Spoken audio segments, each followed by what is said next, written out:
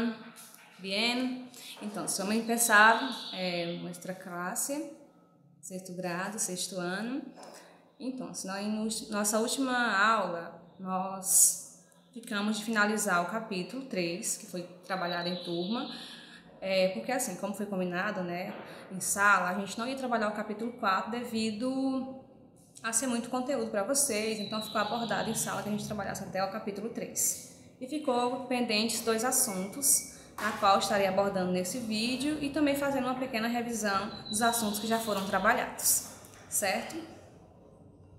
É, o primeiro assunto que ficou da gente terminar foi o assunto das contrações. O que são as contrações? As contrações é quando há uma união entre uma preposição e um artigo, ou seja, é a união de uma preposição com um elemento gramatical como os artigos. Então, geralmente é uma preposição com um artigo. Então, a gente tem no espanhol dois, duas contrações. São elas al e de, que significa o al, é, significa ao, né? E dele, que significa nosso do, né? Do, normal. Então, como que é, é, é feita essa contração al? Então, ela é feita simplesmente para a preposição a, então é a junção da preposição a com o artigo ele, você já sabe, o artigo ele significa o, né? E a preposição a, que é a normal, igual ao português. Então, quando eu junto a preposição a com o artigo ele, eu formo a contração a.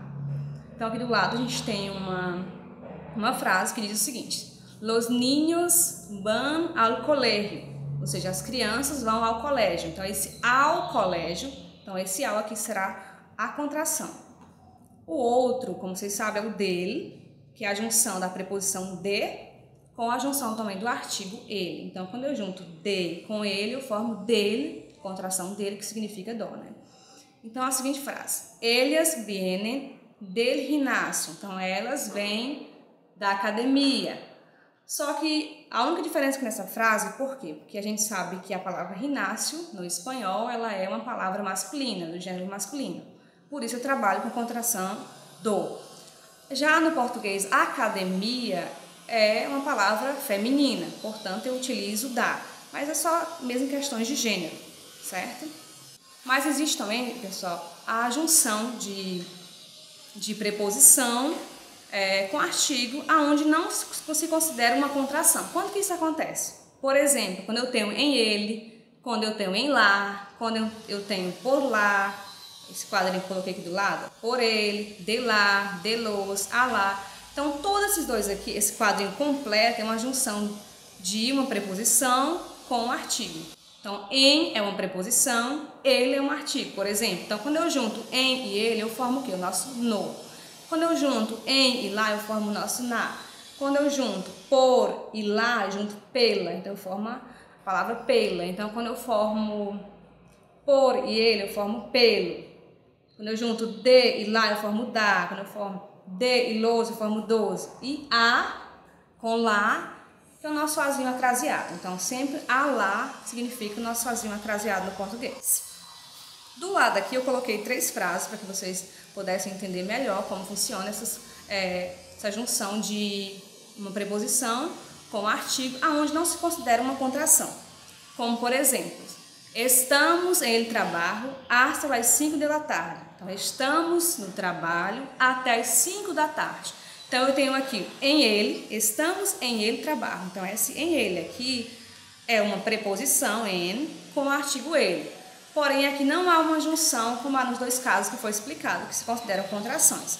Assim como tem aqui de lá tarde, então esse de lá também é a preposição de com a, o artigo lá também, mas não se consideram. A segunda frase: caminhamos sempre por a mesma avenida todos os dias. Ou seja, caminhamos sempre por lá, ou seja, pela mesma avenida todos, todos os dias. Então, esse por lá, que é o nosso pela, né? A terceira frase: Te vas a escola por la calle? Então, é uma pergunta, né? Por isso que há aqui a exclamação no início e no final, né? São os, os pontos, são os signos de, de pontuações. Então, esse alá aqui seria o nosso azinho acraseado, né? Tevás, ou seja, gente vai à escola pela rua, então, ou seja, você vai à escola pela rua, então esse a ele é um ar craseado no português. Por isso que a necessidade da preposição lá e do artigo lá. E o nosso último assunto para concluir o capítulo 3, que é os encontros vocálicos e participação silábica. Ou seja, quando a gente trabalha os encontros vocálicos e formam sílabas. Como assim?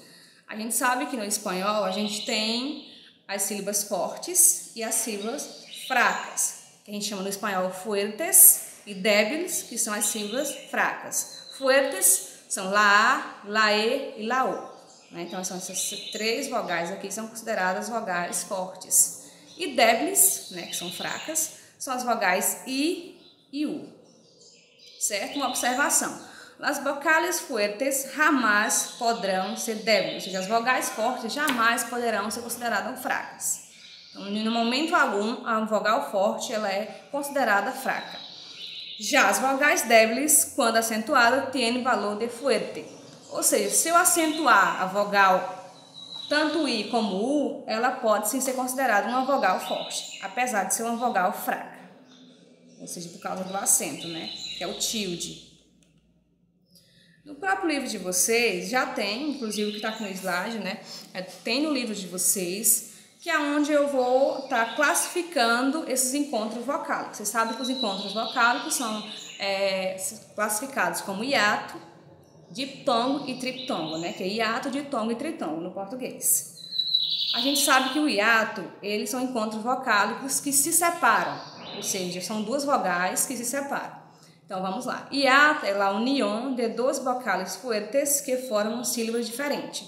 Então é uma união de duas vogais fortes que formam sílabas diferentes. Ou seja, essas vogais, ao fazer a separação silábica, elas vão estar em sílabas diferentes. Como, por exemplo, a palavra etimologia. Então, é etimologia. Então, esse G e A vão ser separados. O I será separado do A. Ah, professora, mas o I não é considerado uma, é, uma vogal fraca? Né? I e U não são vogais fracas? Por que, que ela está sendo considerada hiato, já que hiato são duas vogais fortes? Então, pode sim haver esse questionamento. Então, é bem simples, pessoal. Lembra que lá no, no slide anterior eu falei que quando a vogal fraca ela é acentuada, ela se torna, ou seja, ela se torna uma vogal forte. Porque o acento faz com que aquela sílaba seja tônica, ou seja, mais forte. Então, por isso que o I está aqui, porque ele está acentuado. Então, se ele não estivesse acentuado, aqui jamais poderia ser considerado um hiato. A palavra baú, também, o A é considerado um vogal forte, mas o U não, porém está acentuado, então por isso é considerado um hiato. Troféu, a mesma coisa, certo? E diptongo e triptongo são os dois tipos que não se separam, ou seja, as vogais elas sempre estarão na mesma sílaba, diferente do hiato que as vogais se separam. O encontro é, vocálico considerado hiato é as vogais se separam. Já quando eu trabalho com diptongo e triptongo, essas vogais estarão juntas. Então, a palavra diptongo, ou ditongo, como preferir no português, é a união de duas vogais na mesma sílaba. Essas vogais podem ser sempre serão consideradas duas vogais, pode ser uma forte e uma, e uma fraca, uma fraca e uma forte, ou duas fracas. Por isso que diz, ó, duas débiles, ou seja, duas fracas, uma fuerte e uma débil, uma forte e uma fraca, ou uma débil e uma fuerte, ou seja, uma fraca e uma forte, certo? Então, são três formas é, de eu encontrar esse encontro vocal, considerado como diptongo. Por exemplo, a palavra água. No português, a palavra água ela há um acento no primeiro A. Já no espanhol, como vocês já sabem, tem costume já de ver, né? É uma palavra que ela não leva acento, por isso não tem necessidade de eu frisar o primeiro A. Então é só água. Então geralmente eu vou trabalhar mais esse forte na segunda sílaba. Então eu tenho um encontro aí vocálico de U e A. Então vocês sabem que o U é considerado uma vogal é, fraca e o A uma vogal forte, por isso que é considerada diptongo. Lembra que são duas vogais fracas, uma forte e uma fraca, ou uma fraca e uma forte. Então aqui a gente tem uma fraca e uma forte. A questão de cielo também, cielo. Então eu sei que o meu i é fraco e o meu e é forte. Despacio. Eu sei que o meu I também, eu já sei que ele é uma vogal fraca e o meu A é uma vogal forte, e assim por diante. Quando eu trabalho triptongo ou tritongo, eu já sei que é uma união de três vogais da mesma sílaba. Então, vai ser sempre três vogais. O nome já diz, né? Triptongo, três sílabas. Né? Ou melhor, desculpa. Triptongo, é, três vogais. Então, como que eu vou saber que são consideradas triptongo? É, sempre, pessoal, a vogal forte vai ficar no meio. Então, são três vogais, é, aonde a primeira será fraca, a segunda forte e a última, ou seja, a terceira, fraca. Então, sempre a forte é a do meio. Exemplo, a palavra, Uruguai. Uruguai. Então, a gente sabe que o Y, que é a última é, letra da palavra Uruguai, ela tem o mesmo significado do I, então ela soa como I no português, né? Então, Uruguai. Então, é, são sim considerados um triptongo porque esse Y tem a função de I. Então, eu tenho aí o meu U, que é uma vogal fraca, tem o meu A, que é uma vogal forte, e tem o Y, que está considerada como I, como uma vogal fraca. Então eu tenho fraca, forte e fraca. Paraguai, a mesma coisa.